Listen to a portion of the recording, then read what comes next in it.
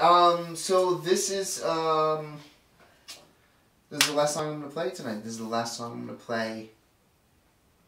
In this room. I I said earlier to my friends here live. I, I, I don't think the live was on. The live, the, and I don't think Was the live, live. was on.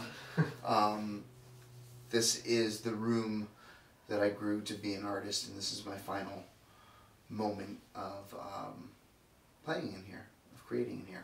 And so uh, it doesn't have a name yet. I'm just gonna play it.